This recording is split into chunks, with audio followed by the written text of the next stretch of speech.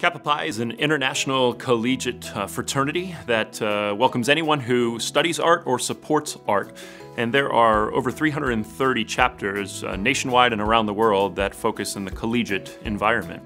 I nominated Kappa Pi for the Youth in Philanthropy Award because I was so impressed uh, with their willingness and their follow through uh, to create opportunities to support something that is off campus and maybe just outside of their work at James Madison University when Kappa Pi came to us and asked to be a part of, of something that they were trying to create, we wanted to support them, but I had no idea uh, of the work that they were going to do to actually accomplish their goals to not only create successful opportunities for their members, but in turn return that to the community through Any Given Child Shenandoah Valley by raising funds for the work that we do for students in the arts in Harrisonburg and Rockingham County. They had a great idea to put on an arts festival and raise some money for any given child Shenandoah Valley, which we welcomed. But what I didn't understand or know was the unique depth at which they were going to attack this initiative. And we're going to continue to bring that art festival to Harrisonburg, both JMU and our community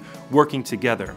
With the impact that Kappa Pi has made on any given child Shenandoah Valley, on my personal walk through the arts, and for the students in our community, I am so ecstatic that they are given the opportunity to win this Youth in Philanthropy Award today.